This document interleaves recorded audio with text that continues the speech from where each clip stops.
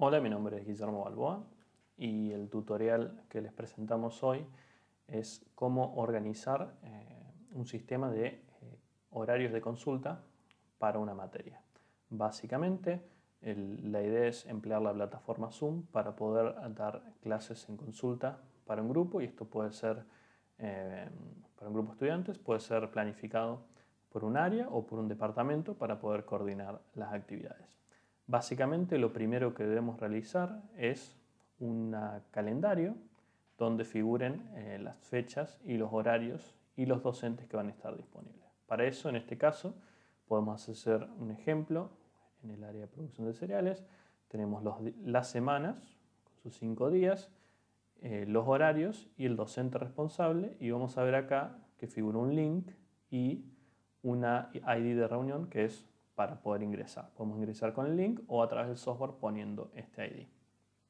Básicamente se recomienda que se planifiquen las consultas con horarios fijos semanales o que se haga en este caso una agenda de tres semanas por adelantado. En este caso es la agenda de una sola, de una sola área, pero uno podría, por ejemplo, para un departamento o para las materias de un año, agregar aquí tantas líneas como eh, consultas puede haber dentro de un día la información básica requerida es el horario, la persona que va a estar a cargo de esa consulta, el link, que vamos a ver cómo se genera, y eh, la identificación de la reunión que también nos va a servir para ingresar. En este calendario también, por ejemplo, en este caso hemos identificado los días que son feriados, eh, por los cuales no se va a dar consulta, por ejemplo. Básicamente este documento es importante porque es lo que se le va a compartir a estudiantes o a quien desee participar de estas reuniones para poder em, acceder a las mismas. Muy importante tenerlo con un tiempo de anticipación para poderlo hacer circular.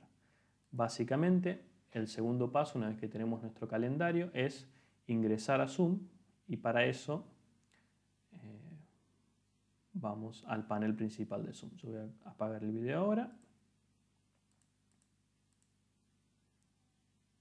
Y lo que hacemos es, en este panel principal de Zoom, que ya eh, vimos en otros tutoriales eh, cómo se maneja. Tenemos iniciar una reunión, unirme a una reunión, agendar una reunión o compartir eh, pantalla en alguna reunión existente. Vamos a ir a lo que es agendar una reunión, le hacemos clic y básicamente aquí vamos a cargar para cada uno de esos días que indicamos inicialmente em, la información. Por ejemplo, en este caso podríamos poner consulta cereales, que es la materia o el área en la que me encuentro, y vamos a poner mi apellido.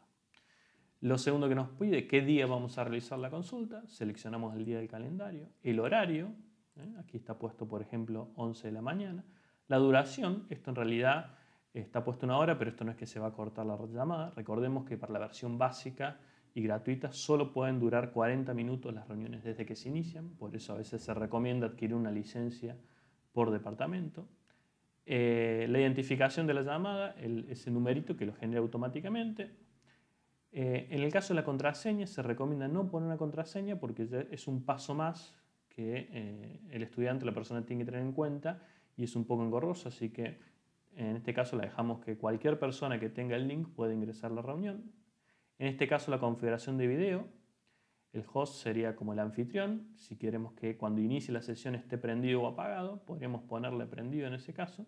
Y que los participantes se recomiende que esté apagado. ¿Por qué apagado? Porque si no se va a ralentizar mucho la conexión. En, reuniones pequeñas no hay problema, pero en reuniones más grandes se puede hacer un poco engorroso. Va a depender de la calidad eh, de la conexión. Se recomienda que al inicio se deje apagado y luego se pueda encender. La configuración del audio, vamos a seleccionar que se use el audio de la computadora. Esto es muy importante, en nuestro país eh, es lo recomendable porque este software, por ejemplo, en Estados Unidos nos permite conectarnos vía telefónica de manera gratuita. En este caso vamos a dejar el audio de la computadora porque si no, cada vez que entra un participante debería seleccionar la fuente de audio y eso es un poco engorroso. Entonces la fuente de audio ponemos la computadora. En calendario nos da la opción, si uno tiene instalado un calendario en la computadora, de seleccionar los calendarios y automáticamente se le va a agregar la reunión. No lo vamos a hacer eso ahora. Lo vamos a dejar otro calendario. Y en opciones avanzadas nos permite eh, configurar algunas cuestiones importantes como por ejemplo permitir la lista, el, waiting room, que es, como la lista de espera, si no ingresa el, es una lista de espera en la cual cada vez que se conecta alguien uno debe aceptarlos para que puedan entrar al aula. Generalmente eso lo podríamos desactivar para que uno, ni bien se conecta, porque se conecta en medio de una reunión, no tengamos que autorizarlos. La segunda opción es que se puedan unir los participantes antes del anfitrión. Esto es optativo, podríamos dejarlo que se puedan unir por las dudas, porque alguien puede unirse y si nos retrasamos eh, no les va a dejar entrar si el anfitrión no está conectado. Este es silenciar a los participantes cuando entran. Esto es importante hacerlo porque si es una reunión muy grande, el ruido de los micrófonos va a molestar. Entonces la persona anfitriona tiene la opción de habilitar o deshabilitar los participantes. Eh, y la otra nos permite grabar la reunión. En este caso no lo vamos a poner. Cuando ponemos agendar, nos dice el sistema que esta es la información de la reunión. Uno puede poner copiar al a la papelera. Lo que nos interesa de aquí es esto, este que es el link de la reunión y este que es el ID, que es la información que vamos a poner en el documento Word que les mostré recién. Vamos generando todas las agendas y luego si se fija en la parte superior dice reuniones. ¿eh? Y aquí vamos a tener en esta barra todas las reuniones que están pautadas. Por ejemplo, hoy había una consulta que ya se realizó, o esta, una consulta que se realizó, y este es el ejemplo que yo había puesto. Entonces, uno si desea cambiar, por ejemplo, el horario, pondría aquí editar y puede cambiar toda la información y no se va a cambiar el link. O sea que uno podría compartir el link y después cambiar la información del horario, por ejemplo. Respecto al horario, es importante tener en cuenta que, eh, por ejemplo, de 8 a 10 de la mañana son los horarios donde hay menos congestión en la red de internet y sería recomendable utilizar esos horarios o tarde en la noche después de las 9. Pero bueno, depende de cómo se configure. Lo último que les quiero mostrar es cuando se conectan, inician la sesión, ustedes tienen aquí varios botones, esto es una pantalla modelo, donde tienen, estos son los controles de audio y video nuestros, en este caso está silenciado, van a tener un, un panel de participantes que si le hacen clic les va a aparecer todos los participantes. Y aquí pueden ver que uno puede eh, uno puede silenciar o, eh, pedirle eh, silenciar a cada uno de los participantes. Uno puede callarlos a todos o uno puede, por ejemplo, uno puede callarlos a todos, uno puede, por ejemplo, apagarles sus micrófonos o, pedirles que enciendan sus cámaras. Y otra de las cosas interesantes que tiene es el chat.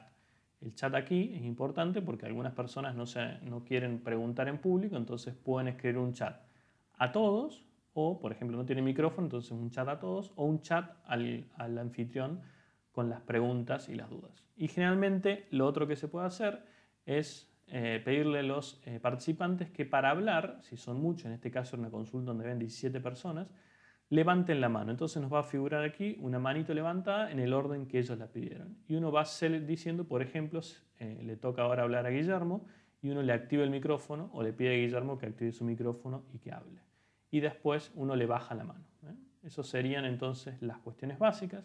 Lo otro es que es importante por ahí que uno inicie su video ¿eh? para mostrar lo que está haciendo y para que eh, vean con quién está hablando. Pero se recomienda que no inicien video ni micrófono todos los participantes a la vez porque va a generar ruido en la reunión.